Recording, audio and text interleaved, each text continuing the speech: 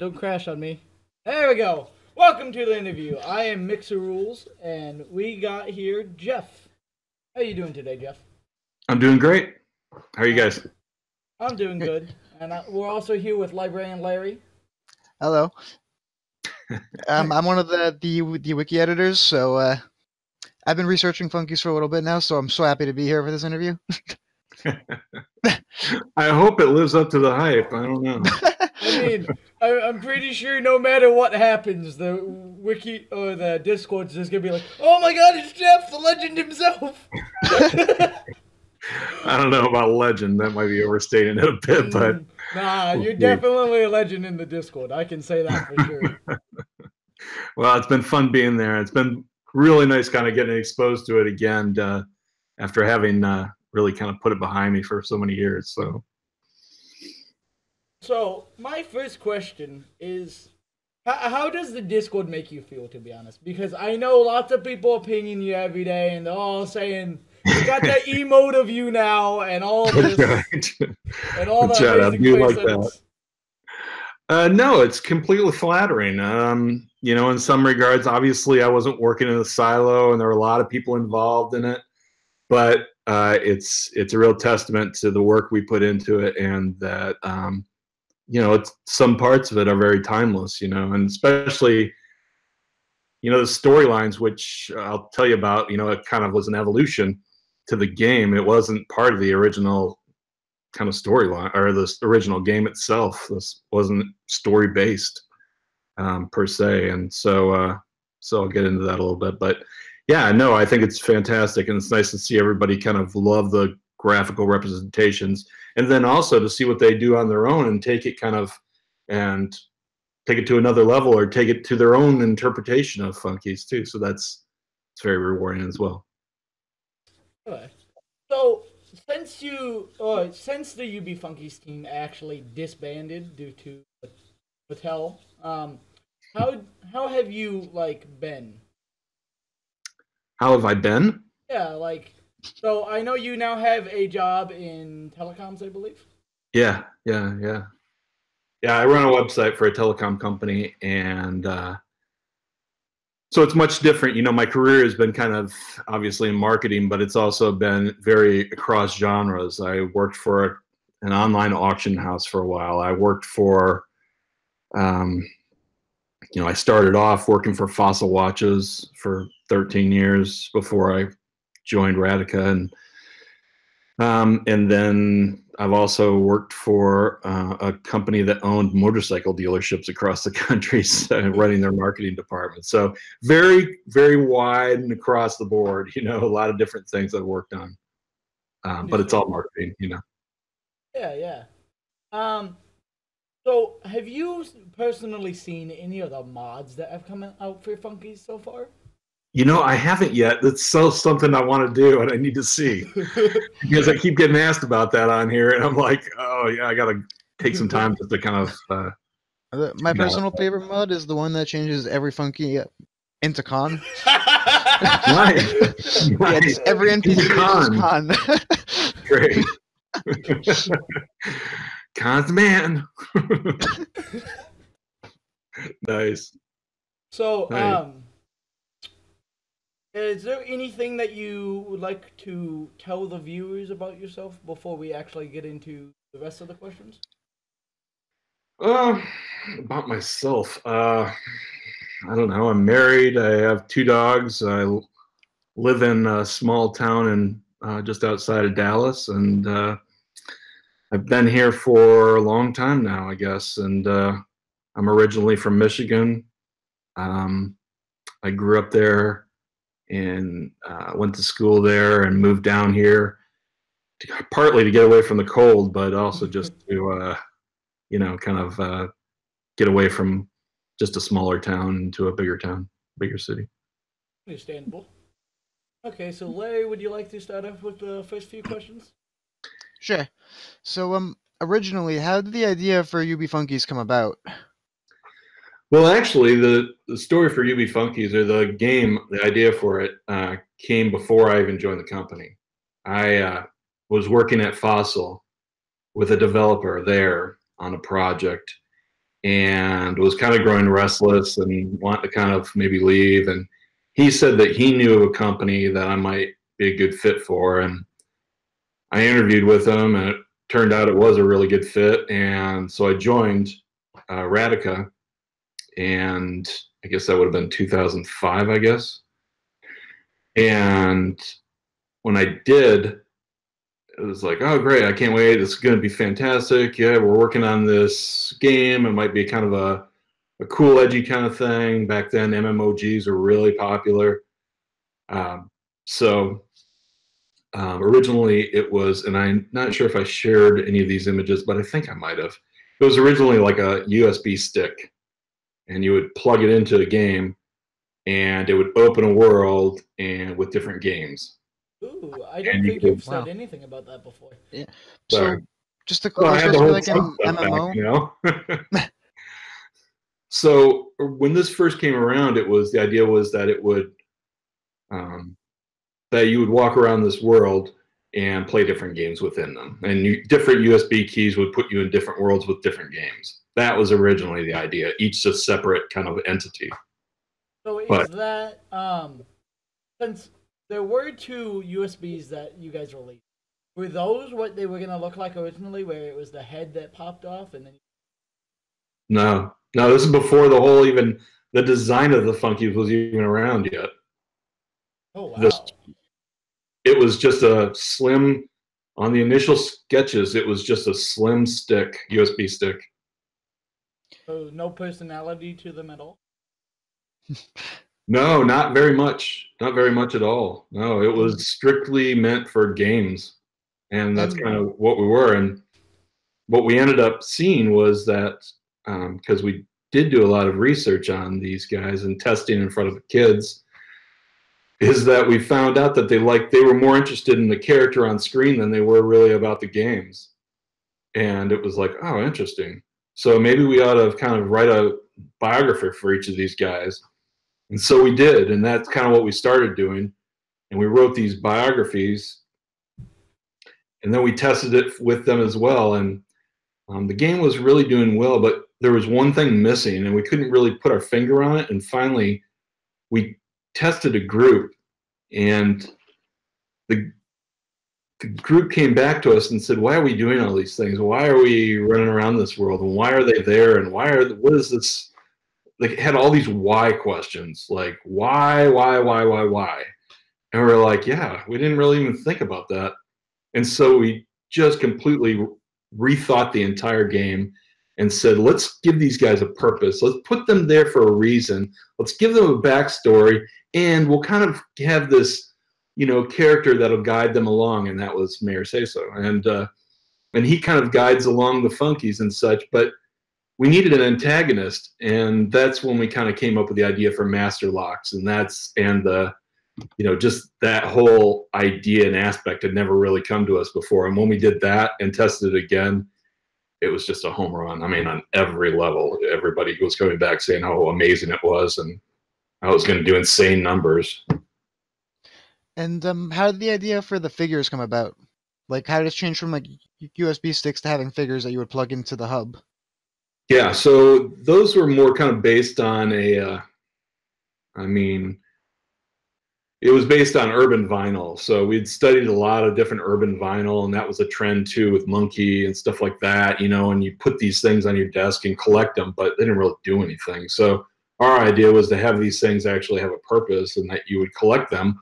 And the more you collected, the more games you could play. So it was a bit of a razor blade, razor kind of, I you know, program for the stores, whereas you bought the hub and then you bought the games, and that incentivized you to come buying into it.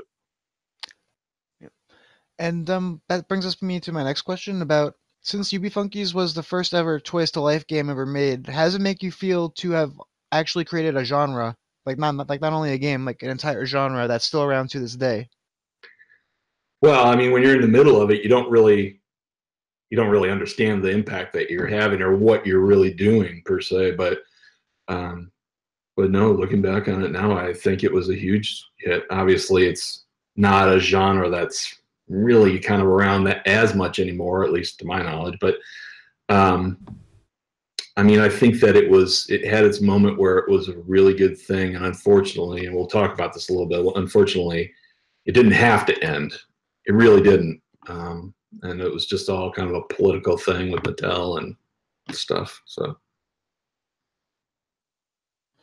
Um, So, um, I just quickly want to touch on the fact you said that you joined in around 2003. Do you know how long back Funkeys was actually in planning? uh, I joined in 2005. Oh, five. So that would have been, I think it had been around maybe six months before that, three months maybe. They had worked out some of the electronics. They'd had some, uh, some of the initial development. This is before Arkadium, I think, was not even on board. Yeah, or maybe they'd just come on board. But yeah,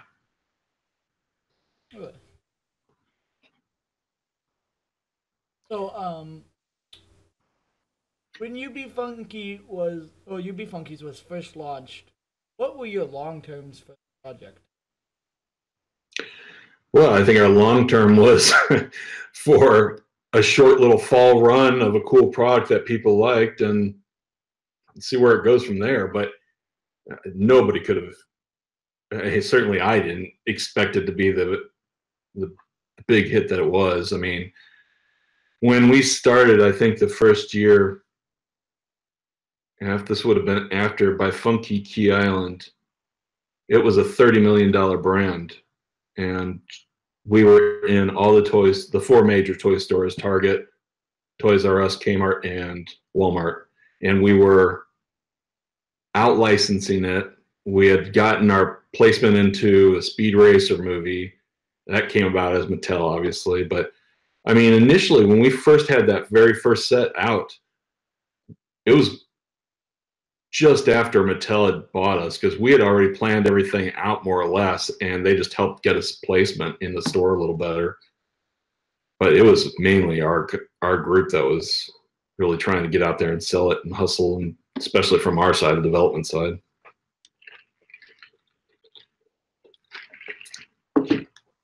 and um, was Mattel in charge of like manufacturing the figures, or was that also Radica? Like they just like gave you the money, and or were they like helping you create the figures as well, like in the design process? No, they weren't helping us with the design process. Um, they ended up towards the end helping us with packaging a little bit, and not design wise, but just production wise. Um, and I don't think they ever helped us with production on the Funkeys or the or the hubs themselves. I think that was all us in our factories. And um, for when, what was the process for creating a new world in UB Funkeys? Were the characters designed first, or were the worlds made first? Good question. Uh, you know, actually, uh, we always had kind of some extra characters floating around at any given time. Things that didn't make the cut, things that we thought were going to be in, but for one reason or another didn't make it into that world. Um, didn't really fit the whole thing. It was almost like picking songs on an album. You know, it's like if you have a theme of an album, you know, some things just don't fit as good as other ones, and so sometimes we had to make those hard calls, and sometimes those things would then lead us to the next world where we might build around that and kind of build off of where we uh, had originally kind of been coming from. So it wasn't as hard and fast as you know. It always started with the characters, and then we went to the worlds or the worlds. I but generally speaking, it was the worlds that kind of ran it. You know, we would come up with the worlds and try to find characters that kind of made sense within there.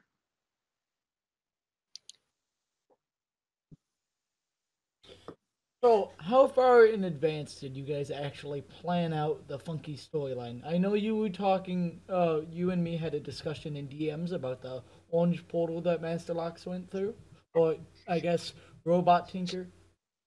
Yeah, yeah, yeah. uh, You know, it's funny. You know, when you're always balancing things. So you know, when you're playing out a toy line. So like this, for instance, when we were doing the initial line, we were aiming for like a ship date around August, September. You know, in time for the holidays.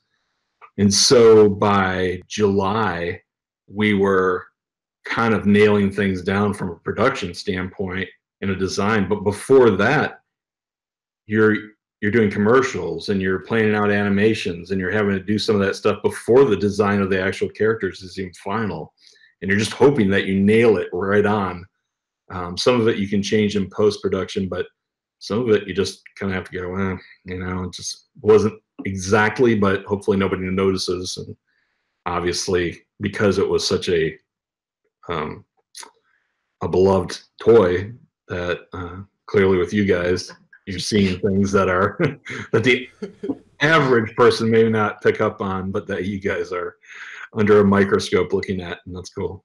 I remember in the 2007 UB Funky's uh, release trailer, like the main trailer with, where we see Deuce going, "If you be funky," when, we uh, in that trailer, I believe, I think it's that one. There was someone, I believe it was Sir Laco, someone in the Discord uh, they had zoomed in on the like middle piece of the land where you would walk across the bridge to get to the other section of. There was a um.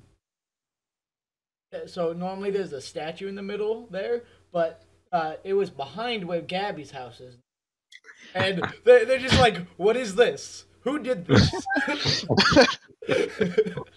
yeah, yeah. There's some things like that where we're at afterwards we were kind of like, wait, what did they do? like the animation group that we were working with to do some of those things, you know, you had to balance whether it was accurate versus whether it just looked really good. And so sometimes we made that had to make that call where it was like, well, this looks really good. I, I know it's not completely accurate as what it is, but gets the point across. nice though. yeah. You know, it's funny though because sometimes you work on these things and you think, gosh, you know, it, when we were getting back, for instance, some of the initial hype that I started getting out there was, you know, YouTube was still kind of young relatively. And so I ended up taking a lot of these early animation clips before they'd even been cut into a into a commercial and started putting them out on YouTube and floating them out there. And the weird thing was is that it really started taking off virally that way. And I think I put out maybe three or four of the animated clips. And before I knew it, like kids were putting up their own videos and stuff. Uh, by the time the Funkeys had hit the stores, they were putting filming their own characters, putting the Funkeys in like almost treating them like action figures and putting those videos and uploading them. And then they were putting them in the game and showing like doing screen captures of how far they got ahead of them, and I mean, they came up with their own storylines, and it just kind of grew from that. It just where people took it and ran with it, just like you guys are. This is pretty embarrassing, but I remember doing some of those videos. I, I, had, I had so my grandpa used to be really into woodworking, and he made me like this hotel house thing and I used to do this series like a funky hotel or something like that. And it, I'm pretty sure it's still on YouTube. So now everyone's gonna go and witch hunt it from the Discord. So I just like exposed myself. It's up there. But yeah, I'm pretty sure it's still up. And oh god. yeah. I have yeah. a confession to make. I was one of those kids too. So. well, hey, you guys weren't alone. You were part of a humongous group of people doing it. Uh. Really crazy. Yeah, that was really exciting. I think that was the first time we actually realized that we may be on to something. It was when I started putting up these clips before the product had even shipped, and people were just like devouring them and asking all the questions and just going crazy over them. And it was like, oh, whoa, what did we step into here? uh, speaking speaking of those clips, um, Larry, who is the one who found the um, full a, I believe it was Hidden Realm commercial. Uh, Dream State. Dream, Dream State. State. yeah. But um, he had originally found a clip. Um, did you ever upload those, like from the later um animations? Yeah, I uploaded a lot of those things early on. We just, I just like to leak them out there and just kind of get people kind of excited about them, and you I know, guess. to see people like if they would like them, and if honestly, it was a good gut check too for us to if kids liked them and they thought it was cool, then yeah, okay, well let's go keep going down that road. If it, they didn't, if they thought it was dumb or they said something, we might change direction a little bit. So does this mean that Larry found your hidden YouTube channel? yeah, so. Maybe so. Maybe. What, was- do you know where you got it from? um, I forgot. It was like a two second clip of Marshall saying like if if you be funky. No, I know that, but do you know where you got it? Where you found it? It was like part of like a compilation of like a bunch of clips from like 2007 YouTube. I just stumbled upon it. So Mhm. like 2008 YouTube. I, I, I, yeah, it's a little weird, but would have been something I did. Yeah, okay. I know. At one point we had a lot of those spliced together, and we did have a clip of it, like a super clip of it, of all Oh, the it- different cutscenes and everything. well, it was like a clip. It was like a, a compilation of a bunch of like Radica stuff too that I found it in. Oh yeah. Oh, I other found, like, things. di- than I, like, I found like a different clip in that one. So Hmm. Yeah, I'll have to check it out sometime. Well, uh, I know we were talking about it, but how does the story, like the um, Lock slash Evil Tinker slash Good Tinker storyline, actually end? Did you guys have that planned out? Uh, uh, yeah. Well, I mean, I think I told you as well, but I mean, and we kind of always saw it kind of going down where Tinker kind of gets away and he ends up in his own little world, and so it's a world with just him, you know, and uh, kind of running things, I guess, there. And what happens when we start introducing Funkeys into this world that's not a Funkeys world where he comes into it, but we flip it, and it's a it's a ma- Master Locks world with Tinker and all these robots all around, and the Funkeys kind of finding out about this. And what happens then? What do they, you know, is this some place that they are trying to, you know, capture, you know, Tinker? Are they going there to do kind of espionage in some way and find some kind of hidden uh, things that are there that they didn't know about that kind of tell their story? Um, just some more insight into kind of how they came to be, and maybe that was explored a little bit, but you know, we never did. We never got it past maybe the storyboard stage. You happen to have any of those storyboards? Uh, I don't know. I don't think so, but I'll look around. that, that does sound like an awesome idea, though. I would have loved that. I know that. Yeah. Maybe that's where the master turn off switch is for all of the henchmen, and then once you got there, all the henchmen just turned off fully. Hmm. Yeah, or the big button, you know. Oh! Oh. Don't torture us like this, Jeff. What does it mean? I can't believe that you guys haven't figured this out yet. We've looked through every It's section like all the- of the code. all- we can't find it. All the clues are right in front of you for this thing. Um, yeah, it was rare when people would come up to me and tell me what the button was for. I was like, "Oh, finally, somebody figured it out." Like we knew this would come come around at some point. and they're like, "I'm not telling anybody." I'm like, "Okay, good." this isn't fair. We need to know. Yeah, you know, I mean, just some people are able to get it right away, and some people just aren't. I mean, it's it's very obvious when you press the button the effect that happens. Can you give us a hint? Because either we're all slow or our VMs don't work like they're supposed to. I think that was the hint. I think that's it. So oh, it gives you an effect. Okay. You got it, Funky Discord. You got to figure out what this effect is because I'm blind. oh, clearly something happens. It wouldn't be a button there if it didn't have to do something. Oh no, because doesn't it say at the top of the screen every time you click it, it's a pointless button? It does. It does, and maybe that's the clue. It's so confusing. Pointless button. So what's what's a pointless button? Hmm. Think about that for a little bit. Jeff, you're gonna be thinking this isn't okay. Noodle on that. You'll get it. Uh, in the mean, in the I know the whole community here is very confident that you will break this code. Oh god. All the pressure's on me now. Oh no. all right. Well, while Mixer thinks over the, the big button, let's move on to the next question. In the meantime, uh, were there ever any plans to release uh, y- y- UB Funkeys on other platforms like video game consoles or maybe smartphones or tablets, as like in the, the, the later days of the brand? We did talk about uh, not smartphone phones, but when we did talk about doing some kind of a phone uh, app. Uh, it wasn't like a smartphone because smartphones weren't really that far along when we were in there, but um, it was more just kind of like how could we integrate somebody that had a phone into the game? So you would do something on your phone that would translate into the game and then you could um, yeah things like that is what we're talking about And was that going to tie into the chat funkeys at all? Because I know like you uh, you guys added in cell phones like in game during that. uh no that wasn't Yeah. Okay. So, Uh, Mixer, do you want to? yeah. What was the first funky ever made? Like either like on the production line or which one was the first one that you guys actually thought of with all the person boy or whatever?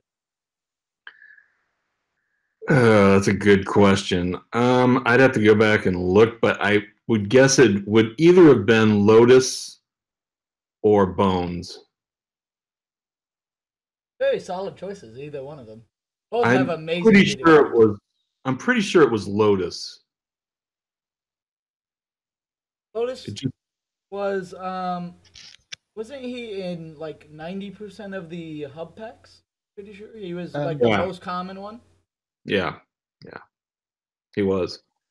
Um, I mean, we did so many different hub packs, though. We did them as exclusives. We did the Speed Racer hub packs too and stuff. But yeah, he was definitely a popular character. I mean, across the board, overseas. I mean, just well, really you exciting. expect it's a cute little panda exactly, exactly. okay so this next question is gonna make you think you ready for this Sure. is Yubi a boy or a girl Um, you know, it's funny. I always kind of thought Yubi was neither, just kind of a asexual. You know, kind of wasn't a boy, wasn't a girl, just reflected everybody, boys and girls. He's just Yubi He's just Yubi. He's new. He's neutral. And do He's funkeys have do funkeys have genders or is it just like everybody's? Did, did, No, did you- genders. Yeah, sure. what Um, gender is Tep then because it's I mean, I a think mummy it's- always see it's his eye I mean, I think some of them are easier to, to notice than others. Obviously, Sprout is much more of a a girl. Twinks, you know, is a girl. Trixie Um, Yeah, Twinks, and you know, and you know, you go to Funky Key Island, and you know, I think some like some of those Flurry. I think Flurry is much more of a soul, also more of a I know, always blood. figured Soul was a girl, to be honest. I don't know why. You really? Webley, I always thought was a girl. Really? Yeah. I mean, I thought that for like the common variant, but then like I thought with either with like the very rare, it was like that was the dude one of that line. You know what I mean? The dude one. Yeah. I like it. Nice.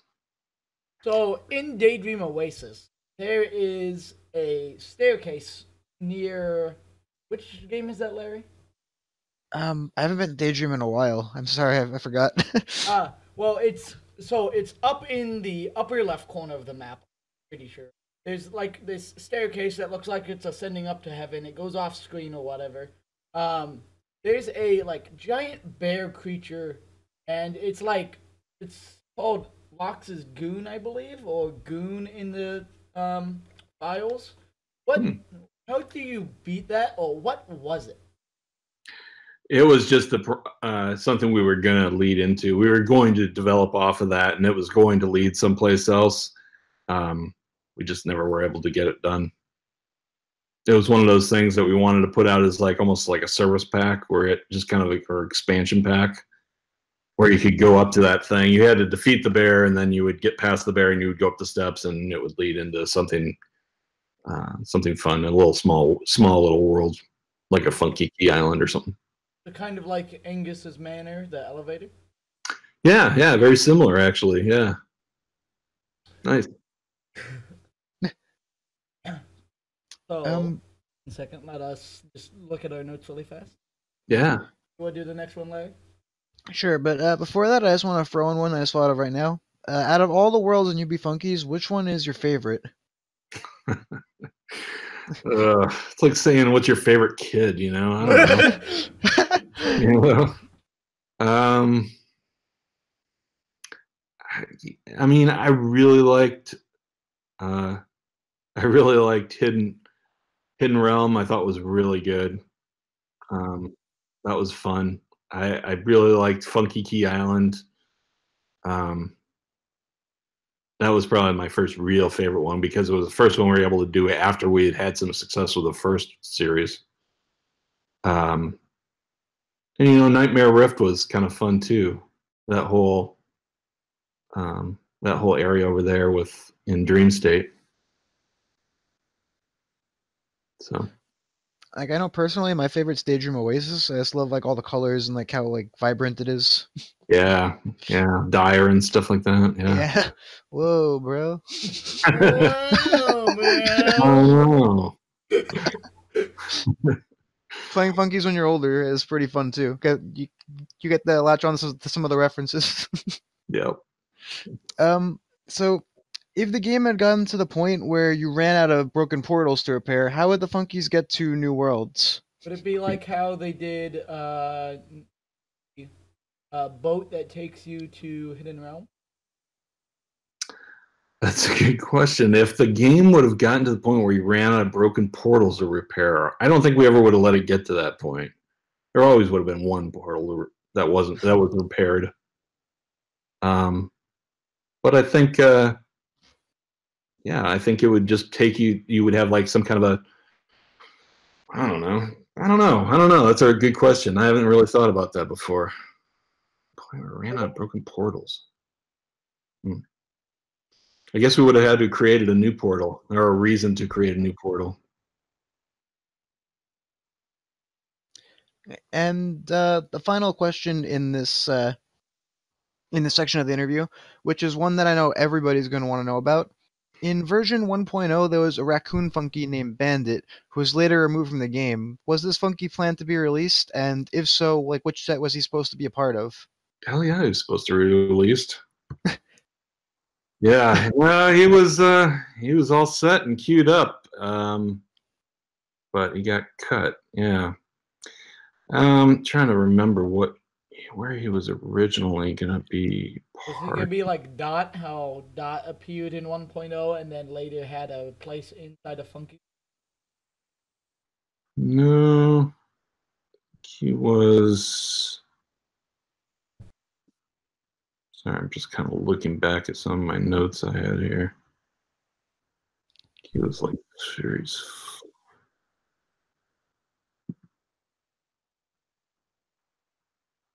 Hmm. People in the Discord are freaking out right now because Jeff is online. How do they know? Are they watching this? No, uh, they're they're looking at the Discord and they just see that you're solid green online. So Oh, I see. Got it. um, I don't really see any notes on this per se, but you know, thinking back on it, I think he was part of Hidden Realm, Hidden Realm. and I think that we ended up swapping them out. We were originally going to have four. Um, no, we were. I think we swapped them out for Raj. Ooh. Oh, that actually Because does make Raj sense. was actually kind of a late addition, and we went with him instead of um, Bandit. Understandable. Uh, okay, I just thought of a question since we were talking about um, Hidden Realm. What do you think would happen if uh, Funky Fighters become became like its own little esport? No, I I thought I always thought it could have a good little fighting, like a little funky, funky forum where people could go there and they could fight and stuff. Yeah, I think that'd be cool. If we can ever get online mode um, working, would you like to be part of the first tournament? Oh, for sure, for sure. Sign me up. I I could be the person that has to play against me, but yeah, sure. Yeah, as long as I get to pick my character, you know, each one's got to have a different move, right? I guess. Oh, was there um were there any plans to expand the funkeys that were allowed to fight in the dojo? Yeah, yeah, sure. Yeah, at some point we are gonna let them all be in there. Ooh. Oh. I really want to see what Moltres would be. I think wouldn't wouldn't it have something to do with the backpack? Like uh, he has a special where he just blows the enemy away. I love that idea. Yeah, that'd be good. Yeah. Make sure take notes for 3D funkeys. I got you, Sam. I got this. Or Boggle, you know, each thing comes out of his three eyes. You know, something comes out of each of his Laser eyes. beam. Yeah. I mean, why not? Nice. Alright, so the next section of the interview is going to be about the Speed Racer world because there was some, unfortunately, there's some some content in that world and like a few mysteries as well that we want to ask about. Yeah. But before we get to that, we want to ask like, how did the idea for a Speed Racer tie-in come about, like originally? Mattel got the license for a Speed Racer for the movie that was coming out, and there was going to be a big launch. And so, typically, what happens once they get a license like that is they rally every game group and they say, "Hey, what are you going to do to support this movie?" And so each group kind of comes up with its own thing. So you might have board games come up with a Speed Racer version. Uh, you may have you know, action figures will come up with a version. Uh, Hot Wheels will come out with like a Speed Racer cars and stuff like that. And then for us, it was, you know, we can do a Funkey's version of Speed Racer, and and that's kind of how it came about. And did Warner Brothers have any say in what the Speed Racer world was like, or did, or was it mainly the the Funkeys team that designed everything? No, no, they definitely had a say for sure. Yeah, there were some things. I mean, it wasn't as bad as DC, but there were some things that you just had to be on point with, you know, and stuff. Especially with regards to the way the new movie was coming out, so it had to reflect the movie, as I recall. It couldn't be like classic references too much. It had to be more of the modern kind of, you know, we previewed the movie beforehand, so Would that be why the um like the old cartoony version of Speed wasn't released? yep. Ah, Okay.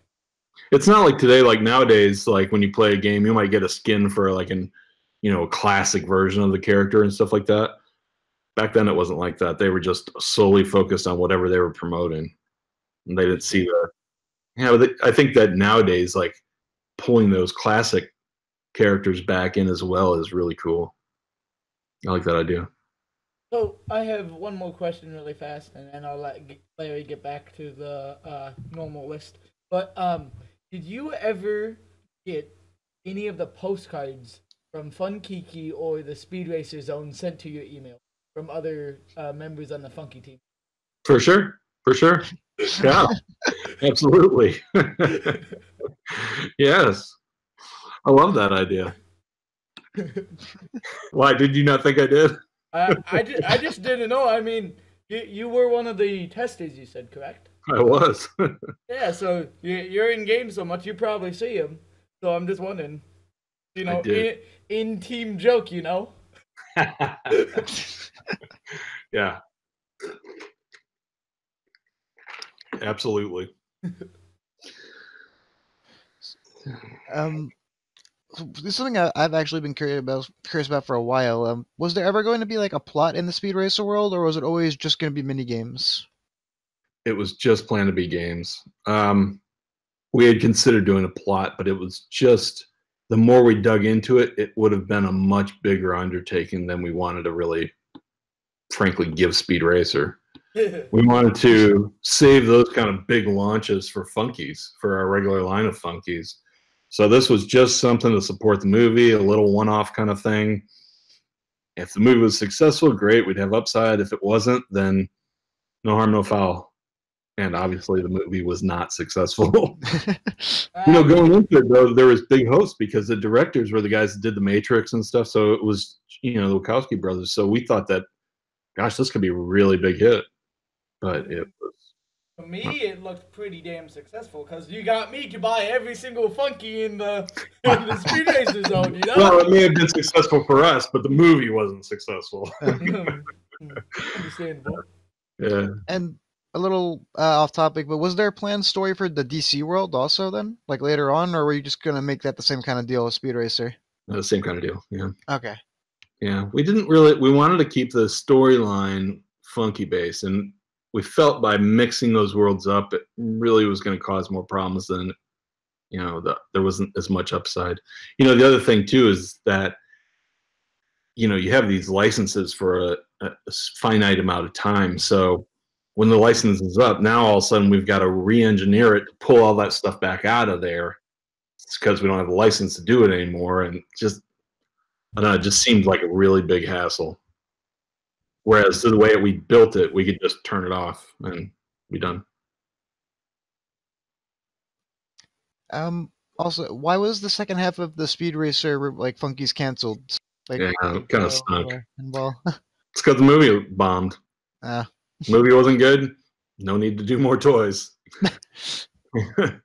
no, but yeah, it kind of bummed us out a little bit because we had pretty good. I mean, did you see the characters that were planned for it, or um. Well, I know I, I played Speed Racer's minigame and I've accessed Tejo like due, due to like the Portal Jammers, but um, as for figures, I've seen common Tejo, and I think that like that, that's about it. yeah, yeah, there was. Uh, I think we had.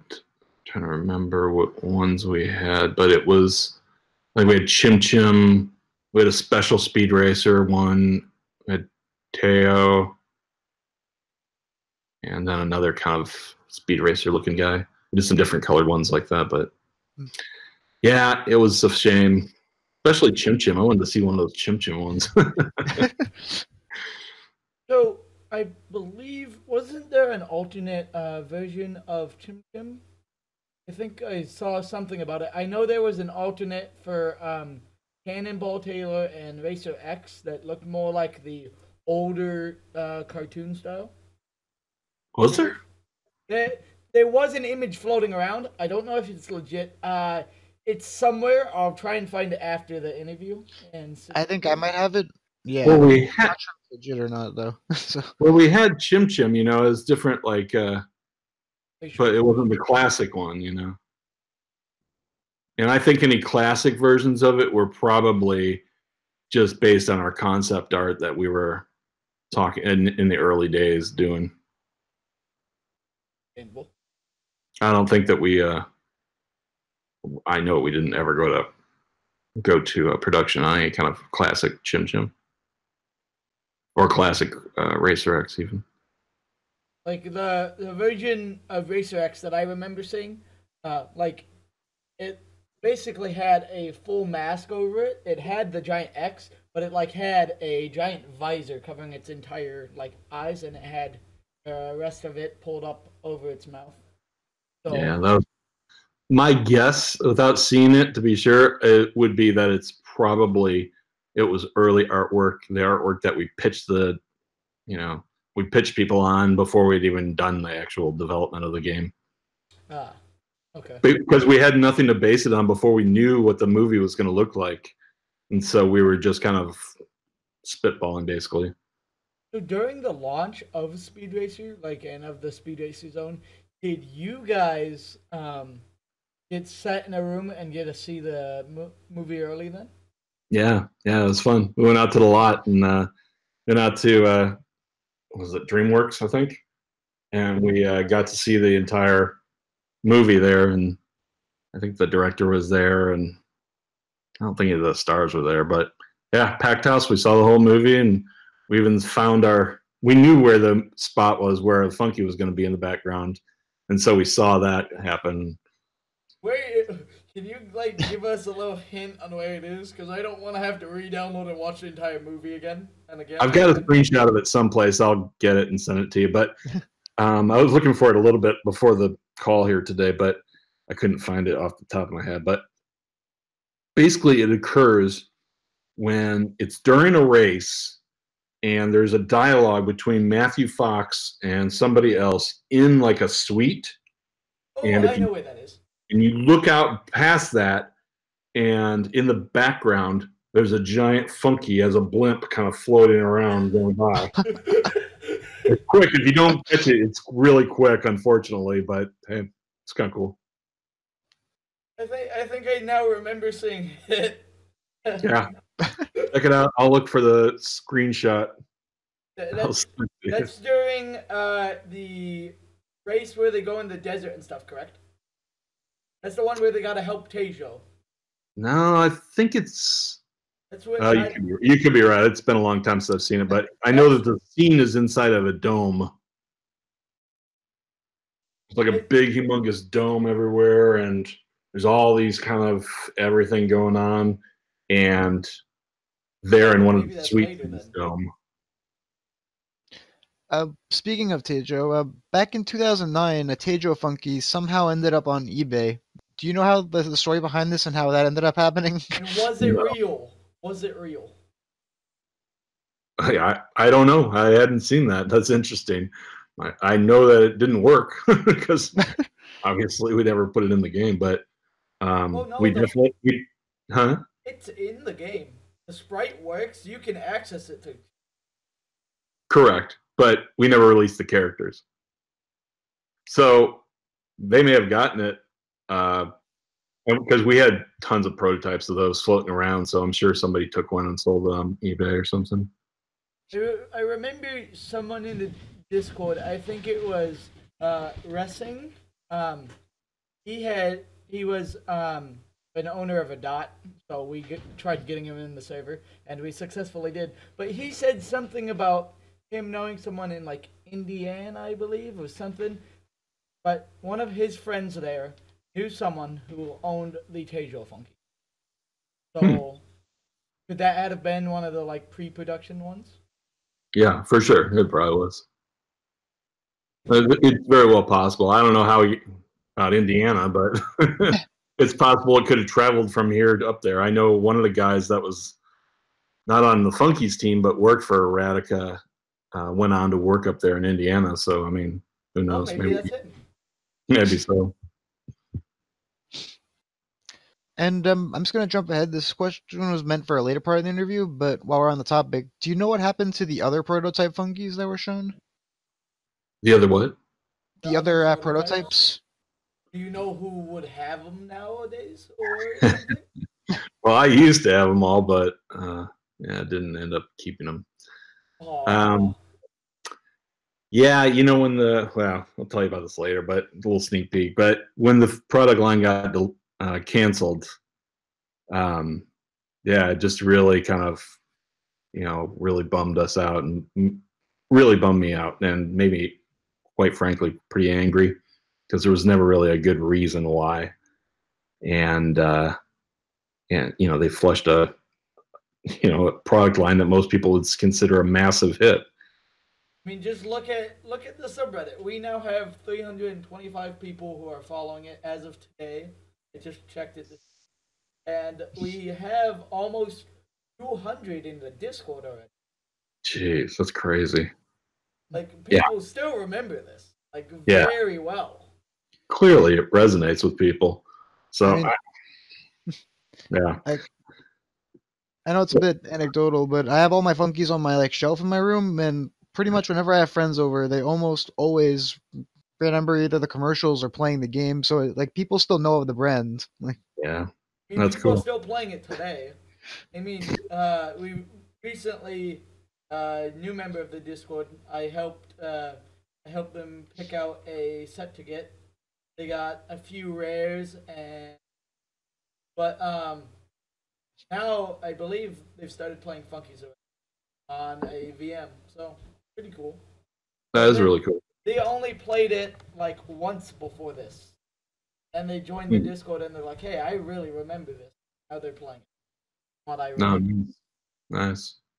And um, yeah, jumping back to Speed Racer, when we were looking inside the files, we found two unused cutscenes about Royalton and Cruncherblock visiting Funkeystown. Um, th- does this mean that a Speed Racer adventure pack was planned at some point? And was any content made for it? It's funny that they were in there. Wow, really? Hmm. Yeah, they were, they haven't been taken out even in 5.0. I believe we still have them in the 8.0 also. Or 4.0. 4.0, not 8.0. Not 4.0. Yeah. 4.8. Jesus, I can't talk today. yeah, I mean, originally we had kind of thought of that, like I said, that we would kind of integrate them a little bit more. But I think once we got into it, we were just like, I don't know if this makes sense. So, and no, there wasn't any content made for it. Just the cutscene that we had thought we might use and kind of build off of, but we didn't. Okay. So, um, one more question about um, the actual Speed Racer zone that I uh, just thought of. Why is the like goon for that uh, realm or whatever uh, for the world? Um, why is it have no sprite? That's supposed to be like Cruncher Block or someone, correct? Yeah, yeah, yeah. It just uh, again, we wanted to take. I think we just wanted the.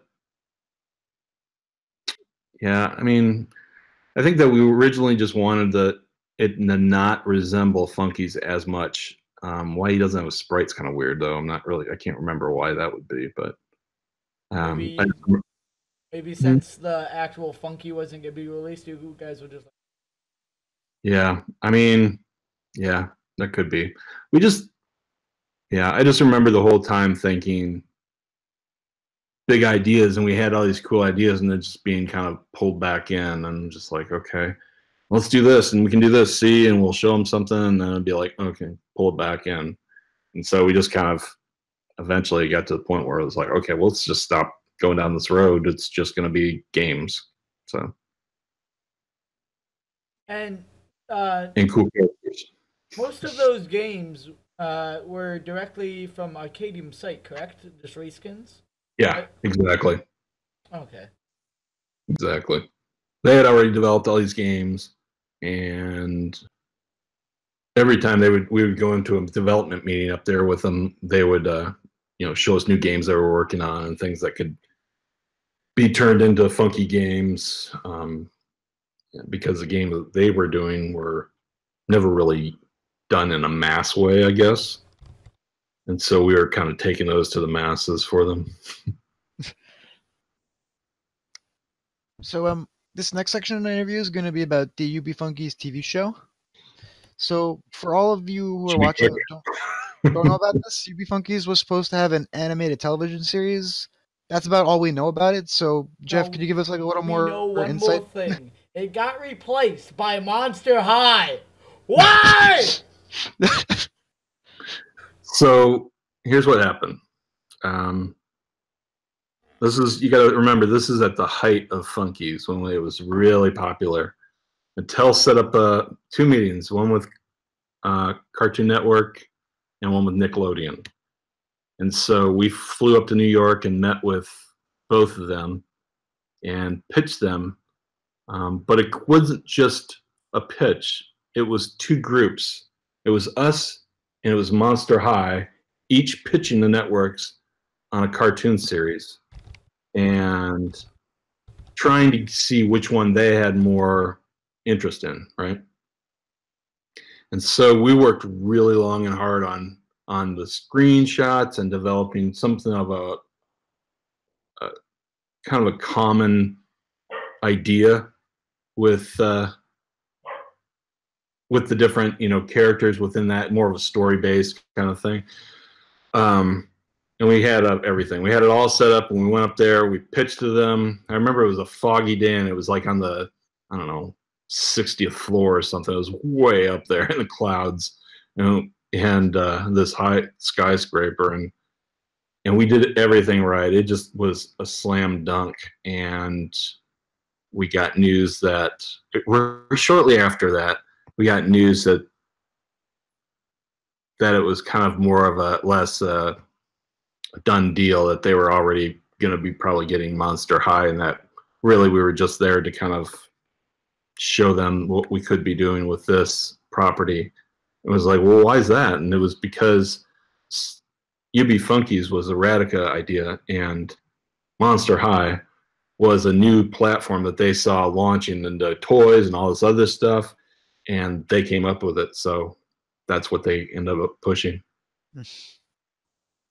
and so they put the they pushed behind that. I think Nickelodeon was the one that picked them up, and there it was. Would it had it been possible for uh, like Radica and Arcade to go to him directly instead of going through? No, when Mattel bought Radica, we became a um, a division of Mattel. So anything. Sorry, my dogs are barking. If you can hear them. Smush Wyatt. uh, so at that point, they owned all rights to everything Radica, and so we it was theirs to do with what we will, what they could. Arkadium had no. We just licensed the game from them. They had no interest in the brand and no uh, vested interest in the brand. Um, what was the show like supposed to be about? Like, was there a storyline developed for it, or was it uh, just like a basic idea you guys had at the time? I think we pitched them two ideas for possible episodes, and I'd have to go back and check my notes to see what if I have that information still. Um, but I shared with you some of the artwork on there, and basically we had those on cards, and we would this guy that worked with us on the stuff he kind of told the story and would show these different cards at different moments in the story that he was narrating. And so just to kind of give you an idea of how that episode would have progressed and kind of where it would have how it would have kind of played out on screen. That makes sense. And um, how do you think the show would have affected the UB Funkey's game if it had been greenlit? I think we would have taken it to another level. Honestly, I think that it would have gone. We would have probably been started developing our own games for it. I think that we would have. Um, obviously, the licensing opportunity would have been even bigger than it was. Uh, t-shirts, you know, selling out and stuff like that. I think we would have been doing multiple licenses, multiple instances. I mean, just I really could have seen it really going a lot of new places. Um, so, but yeah. Um. So the next section of the interview is going to be about unused content for Funkeys. Uh, uh Mixer, do you want to ask like a, a few of the questions from here first? Yeah. So, um, based off of the prototypes that were shown at the one Funkeys convention, I uh, at the one convention, I think it was CES. I think that's what it was. Or no, wait, Comic Con. It was Comic Con. Oh, Comic Con, yeah. Mm-hmm. Um, I, I kept getting them confused. The last interview with um, with Brian, the voice actor for Jerry, I kept getting them confused, and I was like, ah. but uh, so based off the prototypes that we saw there, like of White Marshall and um, I think there was a goalie, a Dally, and a normal Marshall figure. Whatever happened to them? Uh, which ones did you see? The there was a what? Golden Dally.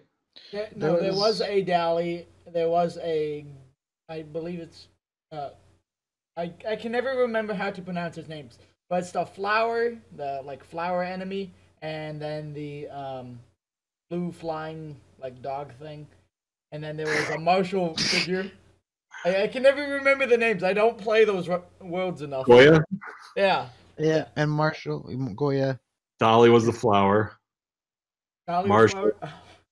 and there was a white Marshall. There was the was the other one? King Sid.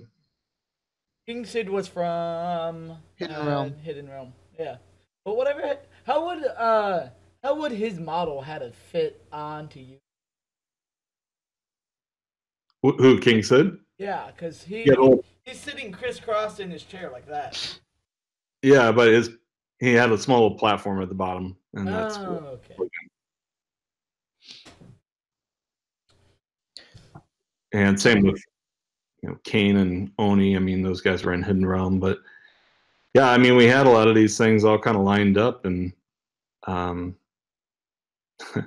I really like the Marshall character. That was like our Clint Eastwood kind of character. Uh, speaking of unused content, I just wanted to know why did you guys give UB a voice in the Wendy's discs? come up. Yeah, yeah, it's a bad idea. We it wasn't our idea to do so, but they. I think it was right around the cartoon, so they were trying to get some kind of connection between that, but It's like that part at you know in Star Wars where they remind George Lucas of the TV special, and you're just like, oh god, that was so bad. Singing and dancing droids. Yeah, that's kind of this is our Star Wars TV moment.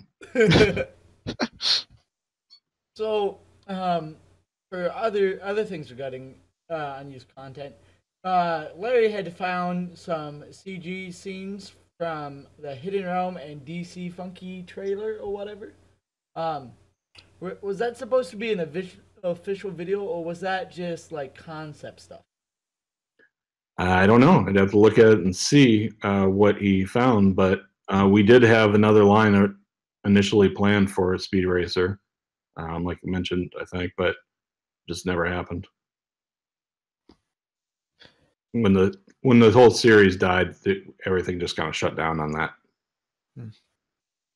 um, do you know what I- like? Uh, I'm not sure if I asked you this already, but do you know what like what happened to those prototype figures, like the Marshall and the the Goya? Like after the convention, do you know where they went or Does like where they might still be now? have them?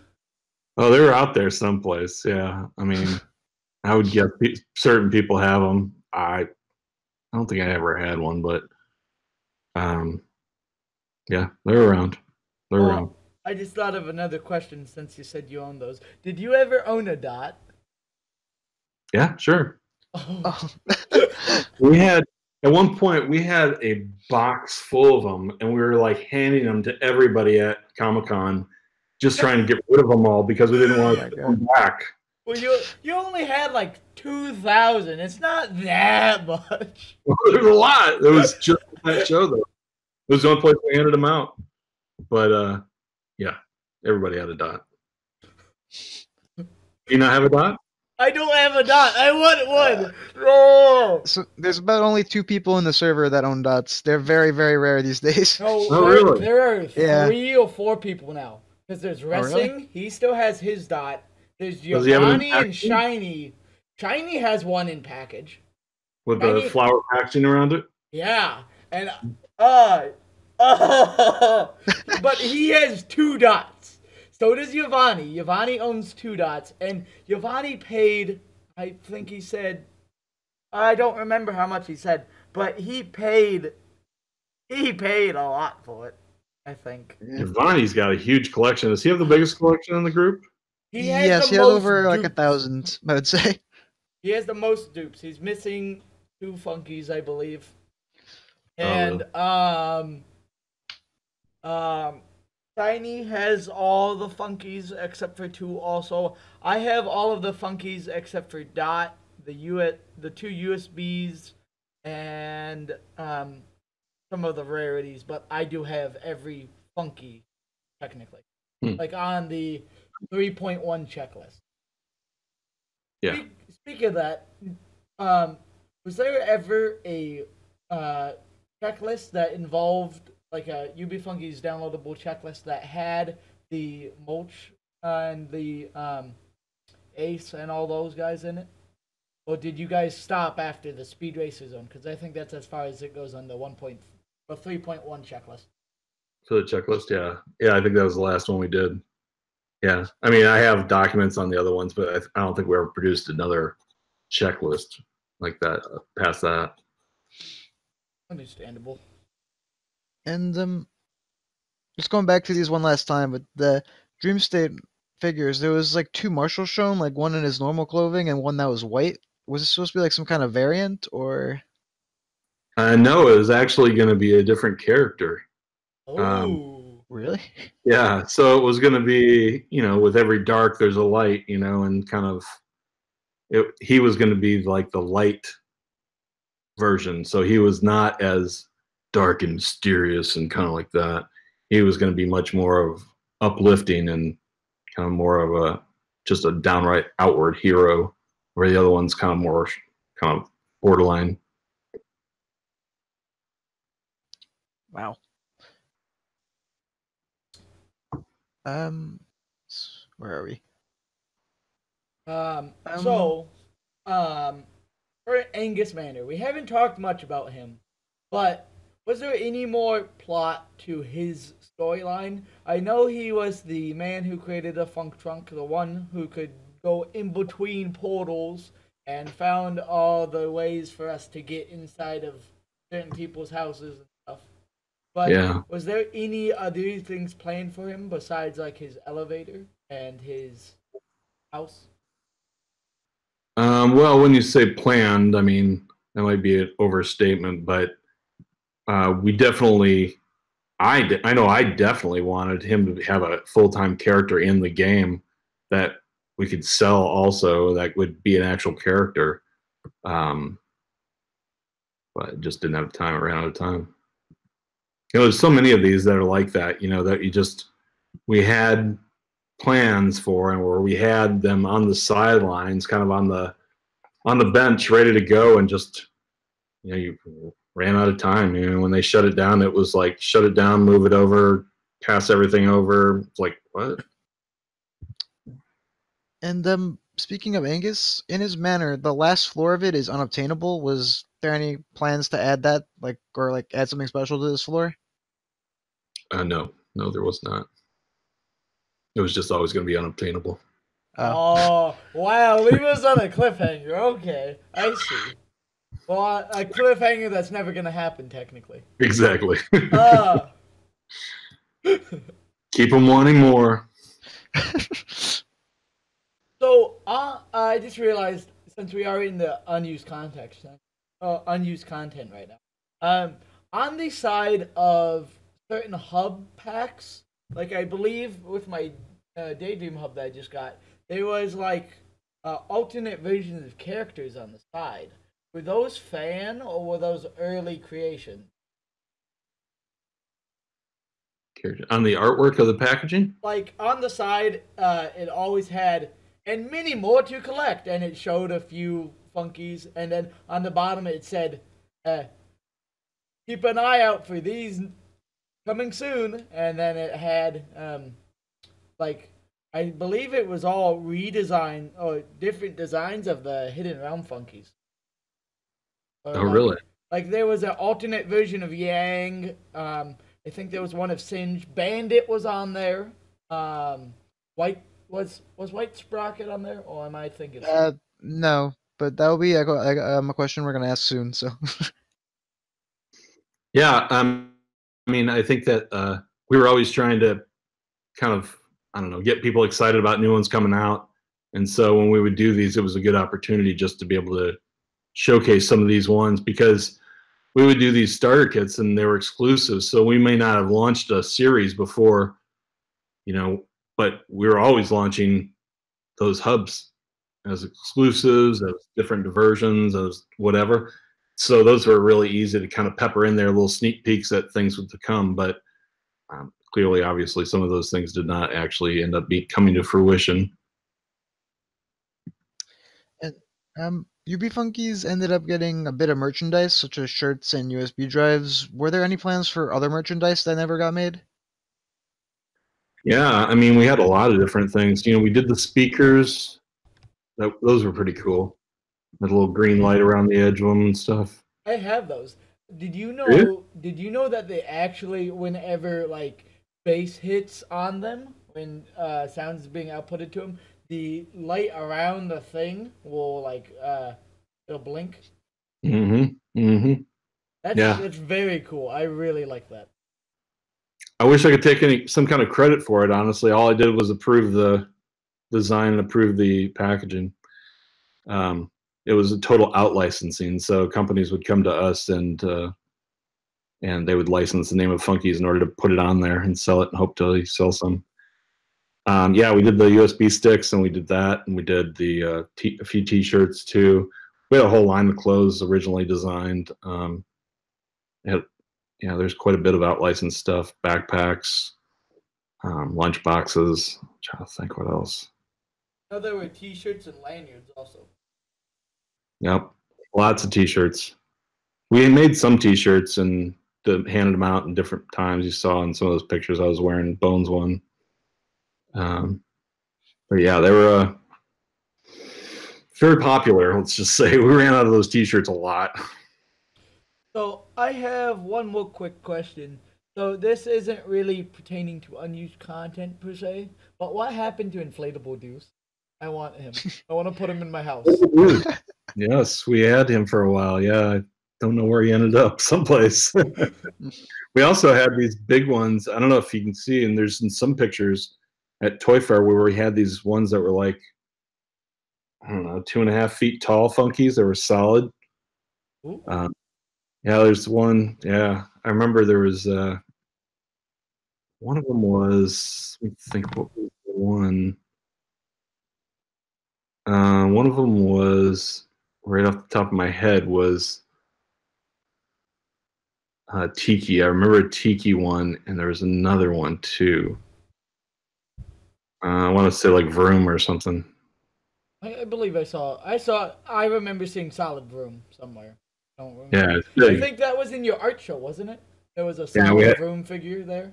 We moved them around a lot, so yeah, it could have been. They were like waist high, I think, or something, or just under waist high. Oh, um, speaking of the um art show, was were there ever plans to have like the winner of that have their funkey be placed into um into the game? No, there wasn't anything like that, but we uh it was just so cool because all we did was give these guys one white blank funkey and they just went crazy with it. And so if you look at some of those designs it's just a phenomenal what they ended up coming up with. Uh, you know one guy did one on steamboat willie you know like the the mickey mouse film and i ended up bidding winning that one. Uh, but it was just blew my mind what they came up with. The octopus one was just crazy and I mean, just so many of them. They took them in so many different ways that we definitely wanted to do it again. Um, of course, those were all auctioned off for charity, and so then we, so we just kind of wanted to do something like that again. I think. Um, oh. okay. Uh, sorry, Mixer. You, you go ahead. So for um, for like the art show, I remember there was like um, a tentacle monster. How, how did you think of that one? I would think of it. Yeah. We just thought if we were walking along and something grabbed us, what would we want to have? yeah, I like that one. That was a good one. oh, also, um, since you were talking about how you guys had white base funkeys, uh, in the Terrapenia, uh, the Great Terrapenia Library, I believe it's called, um, in the like book of funkeys, there is a one for base funkey. Like it was a yellow, a blue, and a red, I believe. Um, were there ever plans to have like they had eyes? They were like UB, but just one color. And um, were they ever planned for release or anything like that? No, I'm surprised those were in there actually. I th- I think it was just like an overall biography of monkeys. Hmm. or how they how they are or whatever. Yeah yeah. Um no there's no real plans for anything like that. We like we enjoyed too much uh coming up with new designs for them and um a little off topic, but what is something I thought of now? Is UB like a like a funkey tribe like every other funkey, or is he just like an individual, kind of like Mayor Say So or Jerry or someone like that? He's more like a Mayor Say So, Jerry. Yeah, exactly. Kind of a ward of the funkeys area. Were there ever also, uh, since there were so many different hubs, like there was the Black Hub, the Daydream Hub, etc. Was was there ever plans to make it where if you connected one of those certain hubs? It would change your in-game UB's look, like the default Yubi to like the Speed Racer UB or the uh, red pink hub. Mm, no, there wasn't anything like that. But I thought that there was when you plug in the hub that the UB in the game changed color to whatever your hub was, right? Uh, um, from what I've seen, it's all, I've used every single hub that I own, and they've all been the same. Always the same. It's always the same UB from my knowledge. Hmm. So there was an idea at one point then to change that to match whatever hub you're plugging in. I thought we did that.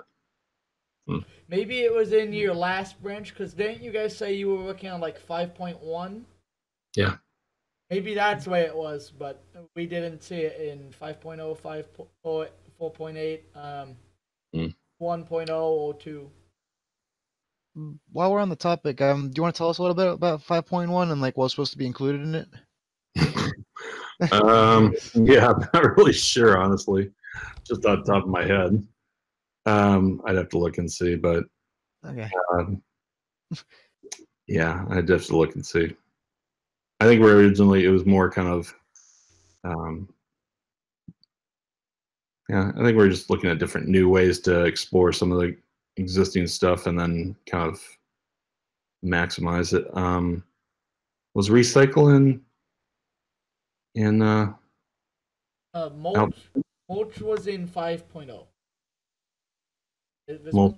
one, uh, the one with the backpack? yeah, Yeah. yeah, right.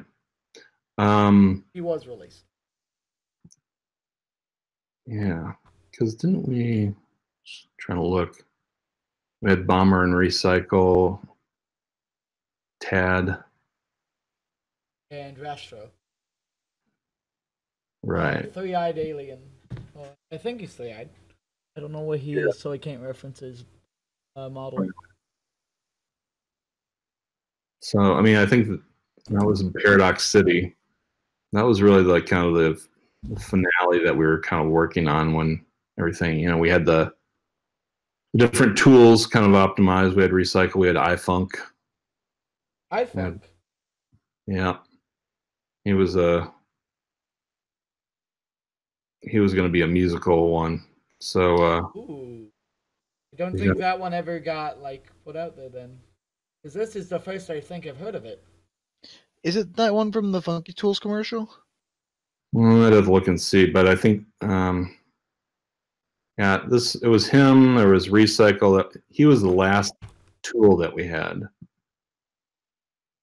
and he had mu- it was like a music thing where you could uh, do different. Um, what it was now. I'm not to remember. I'll have to check my notes and see. But by that point, we had Holler, Gabby, Rewind, ROM, and then we were launching Bomber, Recycle, and iFunk. And then DC was originally supposed to be the four of them. That's really where we were headed the next round that was kind of developed. We were working with DC on that. That was just turned into the biggest nightmare. Um, DC was really hard to work with. They made us like we couldn't we couldn't switch them without them I forget what it was. They were they put this big stipulation on it too where they couldn't they wouldn't let us switch them in game. They had to be separate characters so their alter ego had to be a separate character. I think that was one of the things that they told us. It's It's so like- weird. Yeah. Made yeah it something like that and they just it really made things difficult for us uh, from a development standpoint because it broke our model basically of how we do things in there we wanted to have it see one of the big i remember what it was it was like if you have an aquaman on there and you take him off and put batman on there on screen that's going to switch over to that character right they didn't like that because that made it look like Aquaman was turned into Batman or whatever it was. And so we had to provide some kind of a transition, a different kind of transition. It was just, yeah, it was like pulling teeth. Was there any plans for that transition? Like, would you be just put on like a costume or something, or Yeah, I think that's what we were trying to work out is like how those would actually work out. So, okay, Superman's got to go into a booth, you know, telephone booth, and you know, Batman's got to go someplace, either shoot up in the air and drop back down as somebody else, or something like that. I think is what we were trying to come up with that they would see as being acceptable to them.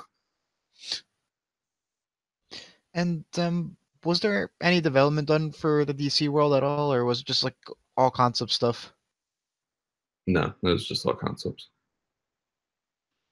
Well, no, we I shouldn't say that. We did development in terms of like, yeah, we had some initial gameplay kind of done out, and we had some initial worlds built out, I believe.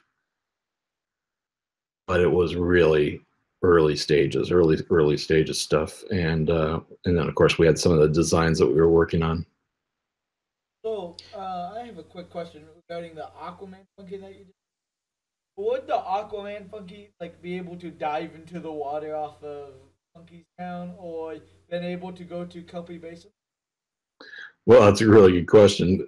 That would have been in our second line of DC. Actually, uh, we were planning him, Mister Frost, and somebody else. But yeah, I mean, that was the idea. Is that maybe we do start, you know, bringing these worlds together a little bit, but um, but if we did, I think that it would probably be he would be in that world. I'm not sure that Funkeys would be there as well, but I don't know. Yeah, we never got to that far, I guess. And Again. Again, we like to keep those things kind of separate. We wanted Funkeys just to be its own little world and be able to keep growing the Funkeys world. These guys may have been funkey-like characters, but they had to exist in a different land. And um, I just have two more questions about the DC world. That's okay. Like, for, was it going to be like a singular world, like Speed Racer, or was it going to branch out into like multiple worlds, like Batman, Superman, Aquaman?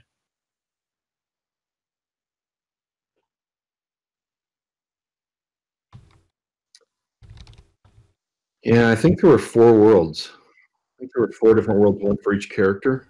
So we had like a Gotham, a, uh, Metropolis, and yeah, for the Joker, it was like a arcade or like some kind of beat down thing, and then or like a carnival. And who was the last one? What am I forgetting? Wonder Woman. Uh, Green Lantern. Yeah, Green you showed a Green. yeah, but it's not him. He was. It was Flash. Oh, Flash. Ah. so he was in the was originally in the four, and he would have had his place in whatever. And um, how did the idea, idea for a DC crossover come in? Was that like was that Mattel also? Yeah, I mean, obviously, you know, it was something that we uh, saw the potential of right away, um, just because, I mean, it just lended itself so much, so easily to it, you know. So uh, it was something that we wanted right away. Um, we were pushing, but we got Speed Racer first. So honestly, I wish that we'd gotten the DC stuff before we got the other. But again, we ran into so many problems from uh, getting trying to get approvals from DC and stuff on it. It was really not a pleasant experience. So And was there any other licensing opportunities that were like in the works for Funkeys? Like any people that were interested or any ideas you guys might have had? yeah, I mean, I think you saw that image that I posted that we had like SpongeBob on it. Like we had talked about doing a SpongeBob world, um, SpongeBob Funkeys, and there was another one too that I can't think Sam. of. There was a Zim Funkey. Oh, who? There was a Invader Zim Funkey. Yeah, yeah. Uh huh. So things like that we were just looking at and just always trying to keep our eyes open to something that made sense, but um, more or less it was a support. So we were supporting licenses within Mattel while really trying to push the boundaries with the actual game and the characters that we had. Uh, Mixer, you want to ask about the Funkey Tools stuff? Oh yeah. So first of all, I gotta know: is that Funkey like a speaker, or is it a um, fan, or is it like a jet fan hybrid? Which one? The Uh, the one that was featured in the uh, Funkey Tools commercial, like the actual tool Funkey. Uh, do you want me to pull up like a picture of it? Yeah, yeah. yeah, I, I definitely have it somewhere. Let me just try to pull Refresh my memory. Yeah, it was in the commercial for like a little bit. Let's see if I can look also, so we can do this two times faster. Yeah, I found one photo. I'm just gonna post it in the group chat real quick. Do it. It looked. It looked. Uh, oh, Hey, I found the one about the speed racer. The old speed. Let me let me send you that one also, so you get. Uh, it's like that fan guy in the middle, like the white one. Oh yeah, huh? That's him. Is, so what Was is that- he? That's iFunk. Oh. It's iFunk. Okay, so I'm guessing then he's a speaker system. Something like. Yeah, he was. Uh, it was all about music, as I recall. I can't really think of exactly how it worked, but it was something about music that we had that was tied in. Was that, Um, that um, was that related to like the uh, playlists that we saw? Because I remember in one thing there was a thing about the playlist. Like there were going to be playlists for each individual. yeah, yeah, I think that's right. Where you can take different songs and create different playlists with them, and modulate the. You can play with the actual music and kind of, or it could be actually user generated content. Oh, and here are those speed racer functions that I was talking about. See how like uh, X has that really weird variant, and um, Yep. the one that's next to Speed is Cannonball Taylor, I believe, and he looks so much different than how he is now. Yeah, yeah. So this was a very early kind of pitch as to how they might look. Um, yeah, just very early art. Good, but very early. Yeah. I forgot about that. Because I, I honestly would still love to see that Speed Racer model because it's it's very like early. sp- Yeah, yeah. It definitely had a lot of cool things there for sure.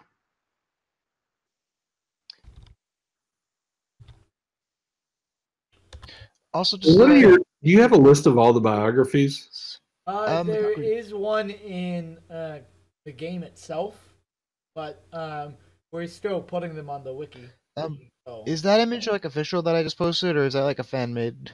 Because I've I've always been curious about that. Of whether that was official or fan made? Yeah, It was just Like- something we created real quick. That board back behind there.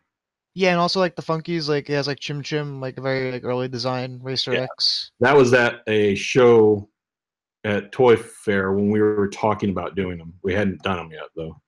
Uh, are Ah. those funkeys still around, or did you guys throw them away as soon as you were done with them?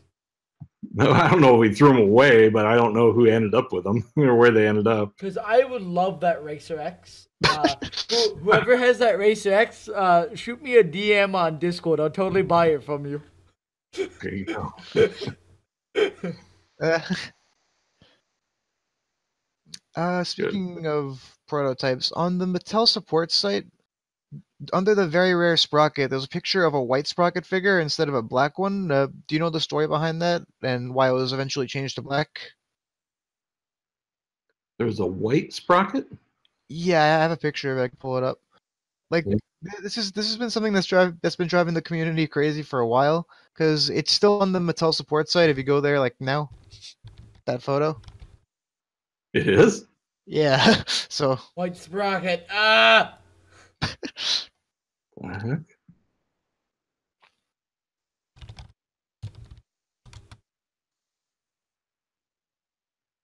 So, um, I think we've touched enough on like the lost content. So I want I want to know. Um, I know I know I know you went on the mini rant to me on Facebook and on Discord about Mattel, but um, so I know you said um, it you think it uh, Funkeys was just cut for no reason. So No, what were your I didn't say feelings that. about it? I didn't say it was cut for no reason. I just said that their their reason was not not a good one. So that basically essentially means no reason. give or take, give or take. So at the time, um, so this would have been 2010, I think. 29, 20. Yeah, somewhere around in there. So they um, basically what happened was you got to remember this is right around when the financial crisis hit, and so everything was you know jobs were companies were shutting down and stuff, and they decided to take the brands that we had done in in Funkeys and move them back over to LA. We were working out of Dallas, and they were going to do them all in house and shut. They ended up shutting down Radica and basically. Uh, some of the designers came back over there with them, but everybody else was cut loose, and they fired us all and closed the doors on it and moved all the brands. I, as one of my last things I had to do at the at Radica was basically send over all this stuff to the new brand manager who had never done anything with this before in his life. and you know, we had already had the next series set up and and ready to you know go on it, but what ended up happening was they didn't. They just took a by that point it had gone down. It hadn't it hadn't been a thirty million dollar brand anymore. It was a more like a fifteen million dollar brand. Rough, right? Uh, but fifteen million dollar brand because they had basically cut our legs off on a lot of different things. They had, you know, cut our buy down. They'd taken our commercial, our advertising, to where we could only run 10 second commercials and 15 second commercials instead of the traditional 30 second. And our our spend on it was very small as well, so we weren't getting as many commercials out there. And so there's just a it was a concerted effort just to kind of shut it down and put that money and that effort towards something else. So that's what happened. Uh, they just they shut it down and they basically flushed that whole line down the toilet.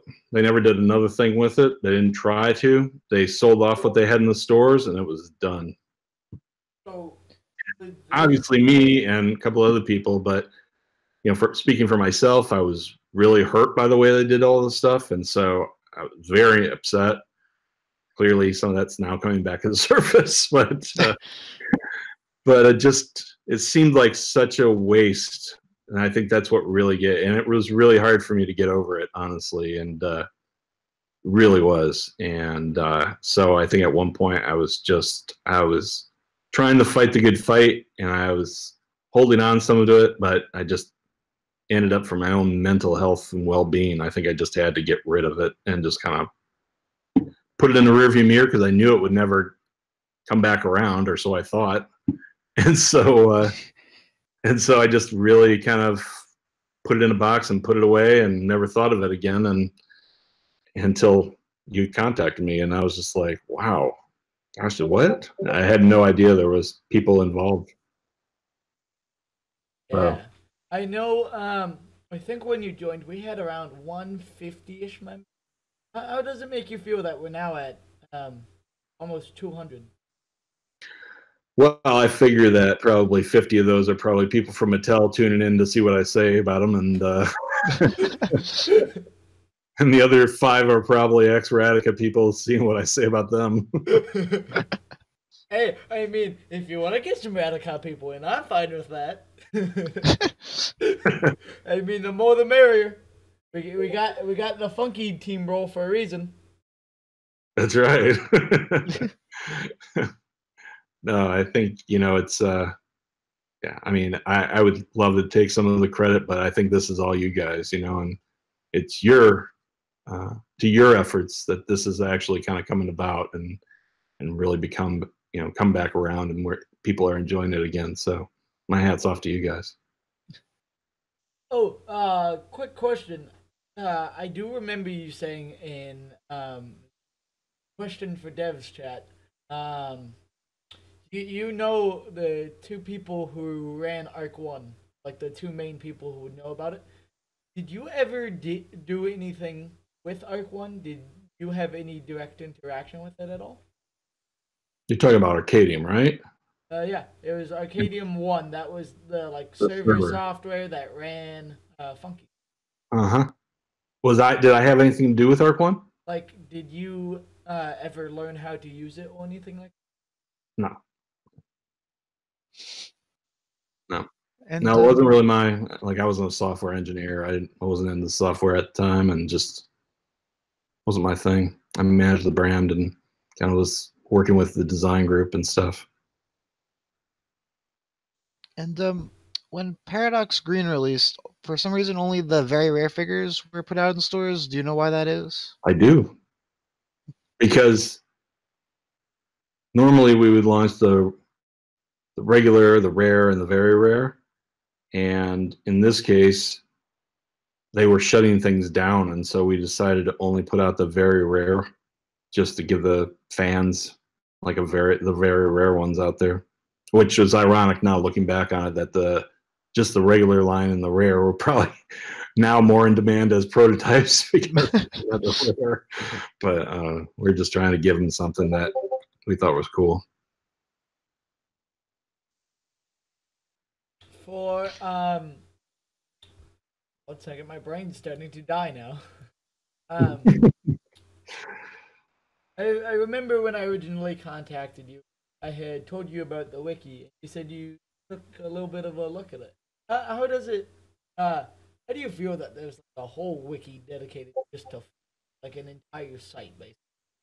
blows me away blows me away i mean you know when i started when i you know helped start this thing it's there was very little social media presence i started hitting up all the social media stuff and you know trying to get them listed on wikipedia and just trying to get things get some kind of momentum going on it to build it so that it would be a brand to last and and you know so to see that you have an entire wiki devoted to it is just it's amazing it's amazing to see what you've done with it and honestly, you've had to piece together most of it.